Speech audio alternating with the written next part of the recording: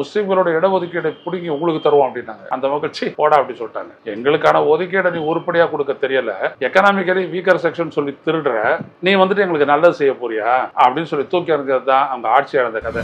ஒரு கேள்வி கேட்கிறேன். எக்கனாமிக்கலி வீக்கர் செக்ஷனுக்கு பத்து பர்சன்ட் கொடுத்தாங்களே அதுக்கு மட்டும் எப்படி புத்தி சரியா வேலை செஞ்சது இவருக்கு? அதாவது யாரு ஓபிசி இல்லையோ யாரு எஸ்சி எஸ்டி இல்லையோ அவங்களுக்கு இந்த ஓபன் கோட்டால இருக்கக்கூடிய எக்கனாமிக்கலி பேக்வர்ட் அதாவது socially and educationally forward but economically backward என்று சொல்லி பத்து பர்சன்ட் இடஒதுக்கீடு ரெண்டாயிரத்தி பத்தொன்பதுலயே கொடுத்த மோடிக்கு இதெல்லாம் பத்தி அறிவு இல்லைன்னு நம்ப முடியுமா? எல்லாம் தெரியும். குழப்பி பாக்குறாரு ஆனா உள்ளபடியே அவர் செய்தது என்னன்னா இந்த எக்கனாமிக்கலி வீக்கர் செக்ஷன் இந்த மேல் சாதியில் இருக்கக்கூடிய பிற்படுத்தப்பட்டோர்னு சொல்லி பொருளாதார ரீதியாக பின்தங்கியோர்னு சொல்லி அவங்களுக்கு வந்துட்டு பத்து விடுக்காடு இடஒதுக்கீடு கொடுத்தாரு இல்லையா? அதற்கான சீலிங் எவ்வளவு தெரியுங்களா? ஒரு வருடத்திற்கு அவங்களுக்கு எட்டு லட்சம் வரைக்கும் அவங்களுக்கு வருவாய் இருந்தாலும் அவங்க பின்தங்கியவர்கள் பொருளாதார ரீதியாக. அவங்க தொள்ளாயிரத்தி தொண்ணூத்தி ஒன்பது ஸ்கொயர் ஃபீட் வரைக்கும் வீடு வச்சிருக்கலாம். ஆனா பின்தங்கியவர்கள். இப்படின்னு சொல்லி முன்னேறியவர்களையே பின்தங்கியவர்களாக காட்டி இடஒதுக்கீடு கொடுத்த பத்து பர்சன்ட் இடஒதுக்கீடு கொடுத்த மோடிக்கு தான் பேசுறது என்னன்னு தெரியாது? தெரியும். ஆனா ஏமாற்ற நினைக்கிறாரு மக்களை. இப்ப 49.5 புள்ளி அஞ்சு வந்துட்டு 59.5 புள்ளி அஞ்சு ஆக்கிட்டாங்கன்னா ஓகே ஆகல அப்படியே விட்டுட்டாங்க. விட்டுட்டதுக்கு அப்புறமும் இந்த பாஜக மோடி அரசு என்ன பண்ணுது அப்படின்னம்னா இந்த 49.5 புள்ளி அஞ்சு விழுக்காடு இடஒதுக்கீடு இருக்கு இல்லைங்களா? இதில் பிற்படுத்தப்பட்டோர் தாழ்த்தப்பட்டோர் பழங்குடிகள். அவங்களுடைய கோட்டால எதிர் பத்து பர்சன்ட் எடுத்து எக்கனாமிக்கலி வீக்கர் செக்ஷனுக்கு இடஒதுக்கீடு கொடுக்குறாங்க. இப்படிதான் நடந்துட்டு வருது. கிட்டத்தட்ட இந்த நாலஞ்சு வருஷமா. அப்ப யார் அந்த கோட்டாவை எடுத்து எக்கனாமிக்கலி வீக்கர் செக்ஷன் கொடுக்கறது? மோடி அரசு. ஆனா யார குற்றம் சாட்டுறாங்க அவங்க? உங்களுதெல்லாம் எடுத்து முஸ்லீம்களுக்கு கொடுத்துருவாங்கன்னு குற்றம் சாட்டுறாங்க. காங்கிரஸ் தலைமையிலான அந்த இந்தியா கூட்டணியை. காங்கிரஸ் தலைமையிலான இல்ல, இந்தியா கூட்டணியை. கடைசி வரைக்கும் நாங்க சாதிவாரி கணக்கெடுப்பே நடத்த மாட்டோம்னு சொன்ன மோடி இன்னும் அடுத்தடுத்து வரக்கூடிய ஃபேஸ்ல விடக்கூடிய ஓட்டை பொறுத்து ஆட்சிக்கு வந்தா நாங்க கணக்கு அப்படி கணக்கெடுப்போம் அப்படின்னு சொன்னாலும் கூட ஆச்சரியப்படுறதுக்கு இல்லை. சாதிவாரி கணக்கெடுப்பு செய்வோம் அப்படின்னு சொன்னாலும் ஆச்சரியப்படுறதுக்கு இல்லை. ஏன்னா BC vote bank BC vote bank போனது. இன்னொரு பக்கம் பார்த்தீங்க அப்படின்னம்னா ராஜ்பூத்ஸ் இன்னொரு இடத்துல ஜாட்ஸ் அந்த விவசாய பெருமக்கள் எல்லாம் ஒரு பக்கமா போயிட்டாங்க. இன்னும் ராஜஸ்தான்ல பீகார்ல இதுல பெரிய ஒரு இது என்னன்னா குஜராத்லயே பேக்லாஷ் அப்படின்னு சொல்லக்கூடிய அளவிற்கு ஒரு பக்கம் அகமதாபாத்ல பெரிய அளவுக்கு ரோட் ஷோ நடத்திட்டு இருக்கிறாரு அமித்ஷா ஆனா இன்னொரு பக்கத்துல பாத்தீங்க அப்படின்னம்னா ராகுல் காந்தி வந்த போது இன்னும் பெரிய அளவிற்கு மக்கள் திரட்சி அங்க. அதுதான் மோடிக்கு அச்சமூட்டி இருக்கிறது.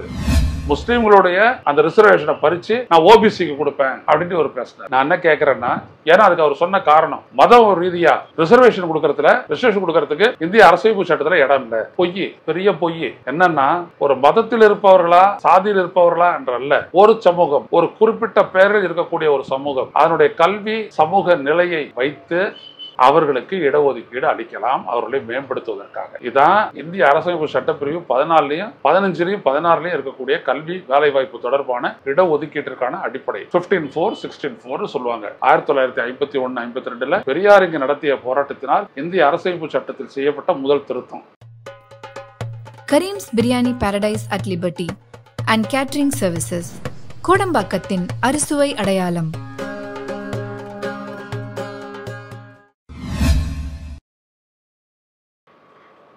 வணக்கம் தொடர்களே ரோச செய்திகளின் வாயிலாக இன்று மீண்டும் உங்களை சந்திப்பதில் பெரும் மகிழ்ச்சி அடைகின்றேன்.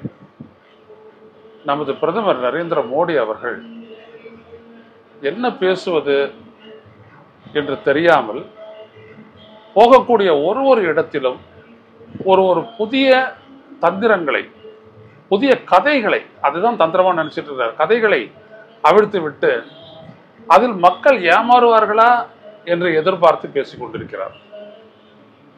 அப்படிதான் நேற்று மகாராஷ்டிராவில் பிரச்சாரம் பண்றாரு. வர ஏழாம் தேதி நடக்கக்கூடிய மூன்றாவது கட்ட தேர்தலில் அந்த இடத்தில் ஒரு ஒன்பது பத்து தொகுதிகளில் தேர்தல் நட நடக்க இருக்கிறது. அதுக்காக பரப்புரை செய்கிறார் அவர். அங்கே போனவர் என்ன சொல்றாரு? காங்கிரஸும் இந்தியா கூட்டணியும் எஸ்சி எஸ்டி ஓபிசி அவங்களுடைய கோட்டாவை அப்படியே பிடுங்கி முஸ்லீம்கிட்ட கொடுத்துட போகிறாங்க ஏன்னா அவங்களுடைய ஓட்டை வாங்கணும். அப்படின்ற ஒரு விஷயத்த குண்டுன்னு சொல்லலாம். பெருசா குண்டு போடுறானான்னு சொல்லுவோமே அந்த மாதிரி. இப்போ இருக்கிற கோட்டை பாருங்க. ஓபிசிக்கு இருபத்தேழு பர்சன்ட் இருக்கு. எஸ்டிக்கு பதினஞ்சு பர்சன்ட் இருக்குது.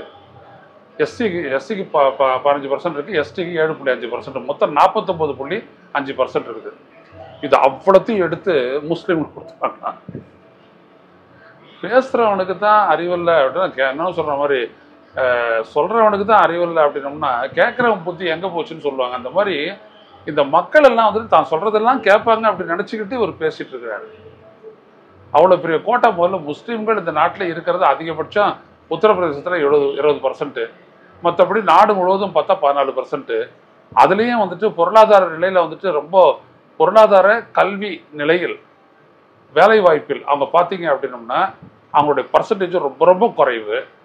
அப்படி இருக்கும்போது இவங்களுடைய கோட்டாவெல்லாம் தூக்கி அந்தாண்ட கொடுத்துருவாங்க அப்படின்னு சொல்றதை யாரு நம்ப போறாங்க ஏதாவது ஒரு பிரதமர் பேசுறாரு ஏதாவது ஒரு அடிப்படை வேண்டாமா? அப்ப என்ன? இல்லைங்க. ஏதோ ஒரு தெரியாத பேசுறாரு அரசியலுக்காக பேசுறாரு தேர்தலுக்காக பேசுறாரு ஓட்டு பேங்க் ஓட்டு வாக்கு வங்கிக்காக பேசுறாரு அப்படின்னோம்னா அப்போ ஒரு கேள்வி கேட்குறேன். எக்கனாமிக்கலி வீக்கர் செக்ஷனுக்கு பத்து பர்சன்ட் கொடுத்தாங்களே அதுக்கு மட்டும் எப்படி புத்தி சரியா வேலை செஞ்சது இவருக்கு? அதாவது யாரு ஓபிசி இல்லையோ யாரு எஸ்சி எஸ்டி இல்லையோ அவங்களுக்கு இந்த ஓப்பன் கோட்டால இருக்கக்கூடிய எக்கனாமிக்கலி பேக்வர்ட் அதாவது or socially and educationally forward but economically backward என்று சொல்லி பத்து பர்சன்ட் இடஒதுக்கீடு ரெண்டாயிரத்தி பத்தொன்பதுலேயே கொடுத்த மோடிக்கு இதெல்லாம் பற்றி அறிவு இல்லைன்னு நம்ப முடியுமா? எல்லாம் தெரியும். குழப்பி பார்க்குறாரு. ஆனால் உள்ளபடியே அவர் செய்தது என்னன்னா இந்த எக்கனாமிக்கலி வீக்கர் செக்ஷன் இந்த மேல் சாதியில் இருக்கக்கூடிய பிற்படுத்தப்பட்டோர்னு சொல்லி பொருளாதார ரீதியாக பின்தங்கியோர்னு சொல்லி அவங்களுக்கு வந்துட்டு பத்து விடுக்காடு இடஒதுக்கீடு கொடுத்தார் இல்லையா? அதற்கான சீலிங் எவ்வளோ தெரியுங்களா? ஒரு வருடத்திற்கு அவங்களுக்கு எட்டு லட்சம் வரைக்கும் அவங்களுக்கு வருவாய் இருந்தாலும் அவங்க பின்தங்கியவர்கள் பொருளாதார ரீதியாக. அவங்க தொள்ளாயிரத்தி தொண்ணூத்தொம்பது ஸ்கொயர் ஃபீட் வரைக்கும் வீடு வச்சிருக்கலாம் ஆனால் பின்தங்கியவர்கள். இப்படின்னு சொல்லி முன்னேறியவர்களையே பின்தங்கியவர்களாக காட்டி இடஒதுக்கீடு கொடுத்த பத்து பர்சன்ட் இடஒதுக்கீடு கொடுத்த மோடிக்கு தான் பேசுறது என்னன்னு தெரியாது? தெரியும். ஆனால் ஏமாற்ற நினைக்கிறாரு மக்களை.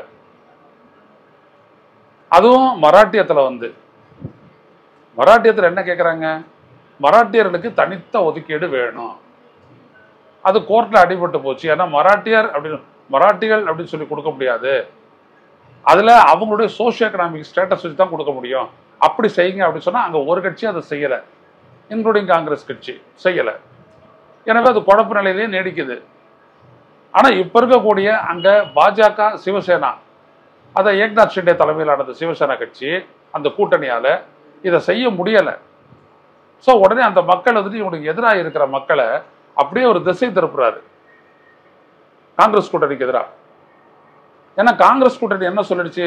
சாதிவாரி கணக்கீடுன்னு சொல்லிடுச்சு. சாதிவாரி கணக்கெடுப்பு நடத்துவோம்.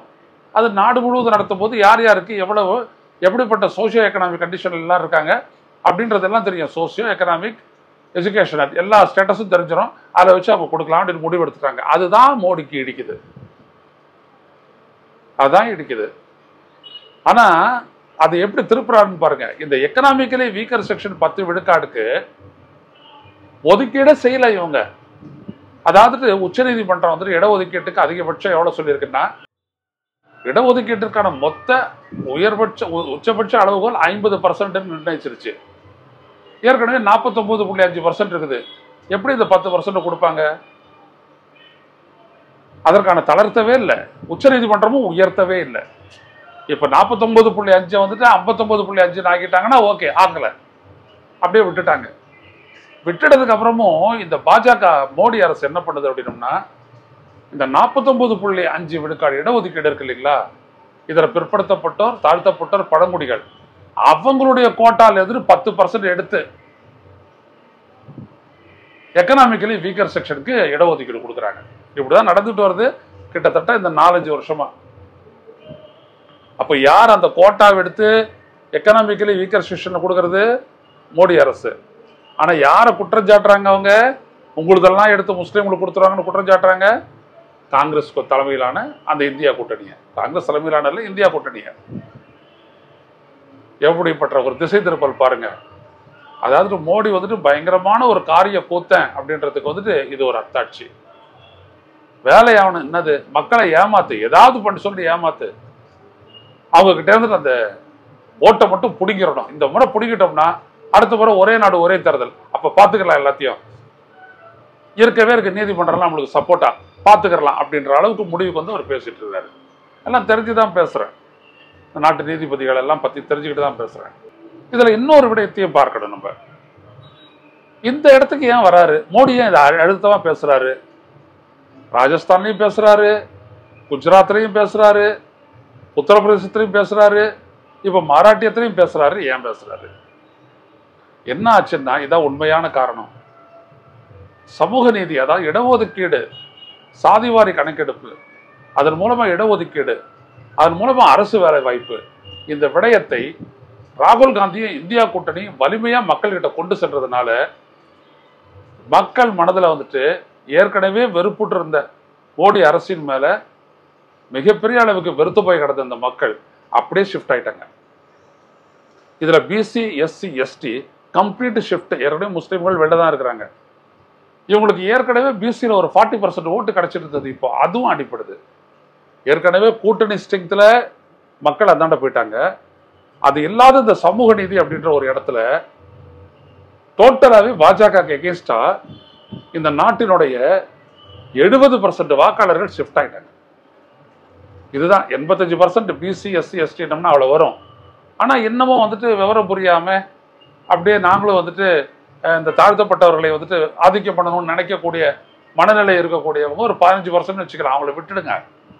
மீதி இருக்கக்கூடியவங்க அப்படியே வந்துட்டு பார்த்தீங்கன்னா ஷிஃப்ட் ஆகாங்க குறிப்பாக வந்துட்டு எஸ்டி அண்ட் எஸ்சிஸ் அப்படியே வந்துட்டு மோடிக்கு எதிராக ஷிஃப்ட் ஆயிட்டாங்க. பிசியில் வந்துட்டு பார்த்தீங்கன்னா அறுபது எழுபது பர்சன்ட் பேர் அப்படியே ஷிஃப்ட் ஆயிட்டாங்க.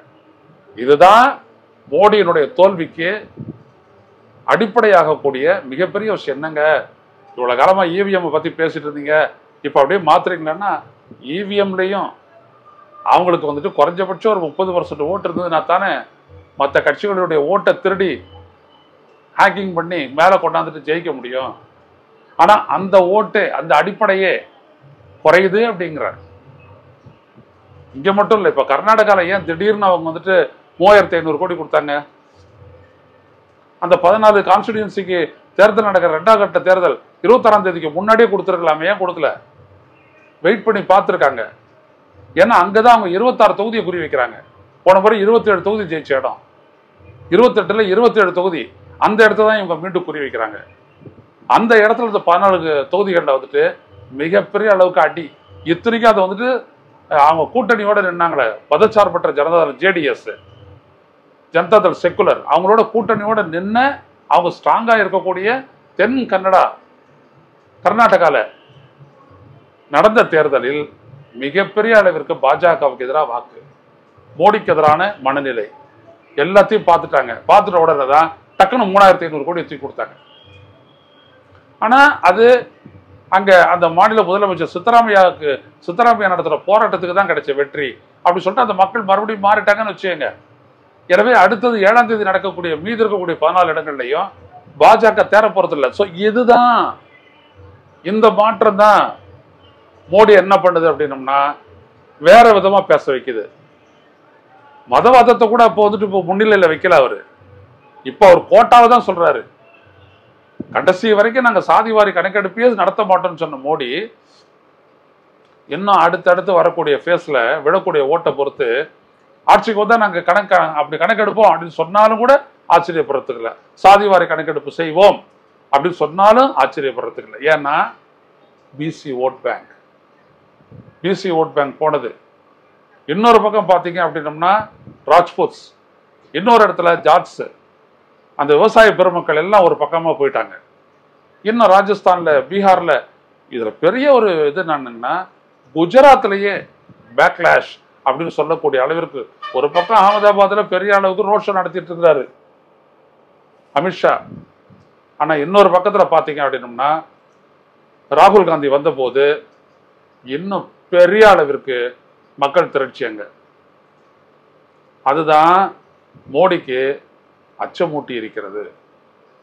அப்படியே பிசி எஸ்சி எஸ்டி எல்லாரும் ஒரு பக்கமா போயிட்டாங்க அப்படின்னம்னா அதுக்கப்புறம் இந்த ஃபார்வர்டு கம்யூனிட்டி ஓட்டு பேங்க் வச்சுட்டு எதையுமே பண்ண முடியாது இவிஎம் வச்சுட்டு இருந்தாலும். அதுதான் அவர் இவ்வளவு தூரம் மூச்சு பிடிச்சு பேசுறாரு. இவங்க அப்படியே பாருங்க he said the opposition wanting to steal the reservation of scheduled caste scheduled tribes and other backward classes to hand them over to Muslims in an act of political appeasement. அரசியல் ரீதியாக தாஜா செய்து அவர்களை ஓட் வாக்குகளை பெற வேண்டும் என்பதற்காக இப்படி செய்கிறார்கள் என்று சொல்லி மோடி பேசுகிறார் என்றால் மோடிக்கு ஏற்பட்ட அச்சம் மயக்கம் அவருடைய சாதிவாரி மதவாத அரசியல் அப்படின்றது வேகமாக சிதைந்து கொண்டிருக்கிறது அதனால தான் ஒரே ஒரு இதை போட்ட உடனே இடஒதுக்கீடை பிடுங்கி முழுமையாக நாங்கள் இல்லாத பண்ணிடுவோம் அப்படின்னு அமித்ஷா பேசுகிறதா சொன்னேன். ஒரு ஃபேக் வீடியோன்னு சொல்கிறாங்க ரைட் அது ஃபேக் வீடியோவாகவே இருக்கட்டும். ரைட்டு ஆனால் அவர் பேசுறதை நான் கேட்டேன். முஸ்லீம்களுடைய அந்த ரிசர்வேஷனை பறித்து நான் ஓபிசிக்கு கொடுப்பேன் அப்படின்ட்டு அவர் பேசினார். நான் என்ன கேட்குறேன்னா ஏன்னா அதுக்கு அவர் சொன்ன காரணம் மத ரீதியாக ரிசர்வேஷன் கொடுக்கறதுல ரிசர்வேஷன் கொடுக்கறதுக்கு இந்திய அரசியலமைப்பு சட்டத்தில் இடம் இல்லை. பொய் பெரிய பொய் என்னன்னா ஒரு மதத்தில் இருப்பவர்களா சாதியில் இருப்பவர்களா என்றல்ல. ஒரு சமூகம் ஒரு குறிப்பிட்ட பெயரில் இருக்கக்கூடிய ஒரு சமூகம் அதனுடைய கல்வி சமூக நிலையை வைத்து அவர்களுக்கு இடஒதுக்கீடு அளிக்கலாம் அவர்களை மேம்படுத்துவதற்காக. இதான் இந்திய அரசமைப்பு சட்டப்பிரிவு பதினாலையும் பதினஞ்சுலையும் பதினாறுலையும் இருக்கக்கூடிய கல்வி வேலைவாய்ப்பு தொடர்பான இடஒதுக்கீட்டிற்கான அடிப்படை. ஃபிஃப்டீன் ஃபோர் சிக்ஸ்டீன் ஃபோர்னு சொல்லுவாங்க. ஆயிரத்தி தொள்ளாயிரத்தி ஐம்பத்தி ஒன்று ஐம்பத்தி ரெண்டில் பெரியார் இங்கு நடத்திய போராட்டத்தினால் இந்திய அரசமைப்பு சட்டத்தில் செய்யப்பட்ட முதல் திருத்தம். எனவே அமித்ஷா பேசுறது இதே தான் கர்நாடகாவில் பேசுகிறாங்க எப்போ? அசம்பிளி எலெக்ஷன் அப்போ. முஸ்லீம்களோட இடஒதுக்கீடு பிடிங்கி உங்களுக்கு தருவோம் அப்படின்னாங்க. அந்த மகிழ்ச்சி போடா அப்படின்னு சொல்லிட்டாங்க. எங்களுக்கான ஒதுக்கீடை நீ உருப்படியாக கொடுக்க தெரியல. எக்கனாமிக்கலி வீக்கர் செக்ஷன் சொல்லி திருடுற. நீ வந்துட்டு எங்களுக்கு நல்லது செய்ய போறியா? அப்படின்னு சொல்லி தூக்கி அறிஞ்சது தான் அவங்க ஆட்சி இழந்த கதை. இப்போ மறுபடியும் ஆட்சியை பிடிக்க போகிற இடத்துல மறுபடியும் இந்த எதிர் எழுச்சி வந்து விட்டதனால் சமூக நீதி எழுச்சி வந்து விட்டதனால் இதுவே உத்தரப்பிரதேசம் குஜராத் ராஜஸ்தான் மத்திய பிரதேசம் உத்தரப்பிரதேசம் என்று எல்லா இடங்களையும் எதிரொலிக்கிற காரணத்தினால தான் மோடி வேறு வழி இல்லாமல் இப்பொழுது சமூக நீதி அரசியலை திசை திருப்பி பேசுகிறார். வேற ஒன்றும் இல்லை. எல்லாரும் கூட சொல்லுவாங்க நானூறுன்னு சொன்னார் முந்நூறு தான் இரநூறு தான் அப்படின்ட்டு. ஒன்று சொல்கிறேன் ஈவிஎம் மட்டும் இல்லை அப்படின்னம்னா பாஜக வாஷ் அவுட் நாடு முழுவதும் அதுவும் அவங்க எந்த அந்த பெல்ட்டு அவங்க வந்துட்டு குறி வச்சு அடிச்சாங்க இல்லையா? போன தேர்தலில். போன தேர்தலில் கர்நாடகா மராட்டியம் குஜராத் ராஜஸ்தான் மத்திய பிரதேசம் சத்தீஸ்கர் பீகார் ஜார்க்கண்டு மேற்கு வங்கம் உத்தரப்பிரதேசம் ஹரியானா டெல்லி ஆகிய ஒன்று ரெண்டு மூணு நாலு அஞ்சு ஆறு ஏழு எட்டு ஒம்பது பத்து பன்னெண்டு பன்னெண்டு மாநிலங்களில் பாஜக உள்ளபடியே சொல்கின்றேன். அவர் ஜெயிச்ச இடத்தில் இருபது இடத்துக்கு மேலே அவங்க ஜெயிக்க முடியாது. அதுவே கூட மோடி இந்த அமித்ஷா இவங்களாம் அவங்களுக்கான வேலை நடக்கும்ல? அந்த அளவுக்கு நடக்கும். வெறும் இவிஎம் தான். இன்னைக்கு மக்களே கிடையாது. அந்த த- அந்த முற்பட்ட சாதிகள். அதை தவிர பீகார்லேயோ உத்தரப்பிரதேசத்துலேயோ இல்லை குஜராத்லேயோ வேறு எதுலேயுமே அவங்களுக்குன்ற வா- வாக்கு வங்கின்றது இல்லை. முடிஞ்சு போச்சு. அப்போ இதை வச்சு என்ன பண்ணுவாங்க? இதை வச்சு they can manage up to hundred seats அவ்வளோதான் இவ்வளோதான் பண்ண முடியும். மற்றபடி பெரிய அளவுக்கு அடிபடுவாங்க. குறிப்பாக உத்தரப்பிரதேசம் மத்திய பிரதேசம் பீகார். சரியான அடிப்படுவாங்க டெல்லி. குஜராத் ராஜஸ்தான்லாம் பின்னாடி பார்ப்போம். இன்னும் கொஞ்ச நாள் போட்டோம். தெரியும். ஆக மோடியை வீழ்த்தப் போவது சமூக நீதி அரசு தான். இதுதாங்க இப்போதானே வந்தார். இதுக்குள்ளே இவ்வளோ பெரிய இம்பேக்ட் ஏற்படுமான்னு நீங்கள் கேட்கலாம். இதே வட இந்தியாவில் சமூக நீதி காவலர் விபி சிங் ஏற்கனவே இதை பண்ணி வச்சுட்டார். பிசி எஸ்சி எஸ்டி மைனாரிட்டிஸ் அப்படின்ற அந்த அலையன்ஸ் வச்சு தான் காங்கிரஸையும் வீழ்த்துறாரு இப்போ அது காங்கிரஸ் இருக்கக்கூடிய அந்த இந்தியா கூட்டணி அதை கையில் எடுக்குது. கையில் எடுத்து அவங்க இப்போ இதே சமூக நீதியை வைக்கும் போது அங்கே எல்லாம் மாறுபடுது. ஆனால் அடிப்படை என்ன அப்படின்னம்னா விலைவாசி ஏற்றம் வேலையில்லா திண்டாட்டம் போன்ற அடிப்படை பிரச்சனைகள் தான். அதோடு சேர்ந்து இது பிஜேபியினுடைய ஏமாற்றுதலை அவர்கள் உணர்ந்து கொள்ளார் அதாவது என்னன்னா நாமெல்லாம் இந்துக்கள். இது இந்துக்களுக்கான நாடு. இந்து ராஷ்டிரா. ஒரே நாடு ஒரே தேர்தல். ஒரே கல்ச்சர் சனாதன தர்மா. இந்த கதையெல்லாம் மோடிக்கு கை கொடுக்கவில்லை. பாஜகவிற்கு கை கொடுக்கவில்லை. எதை வைத்து அவங்க வந்துட்டு டிவைட் பண்ணாங்களோ அந்த டிவிஷன் இன்னைக்கு என்ன ஆகி போச்சுனோம்னா அப்பர் கேஸ்ட் அப்பர் கிளாஸ் அது தனியாகவும் ரெஸ்ட் ஆஃப் இந்தியா அப்படின்னாவும் ஆகிப்போச்சு இதுதான் இந்த தேர்தலை முடிவு செய்ய போகிறது.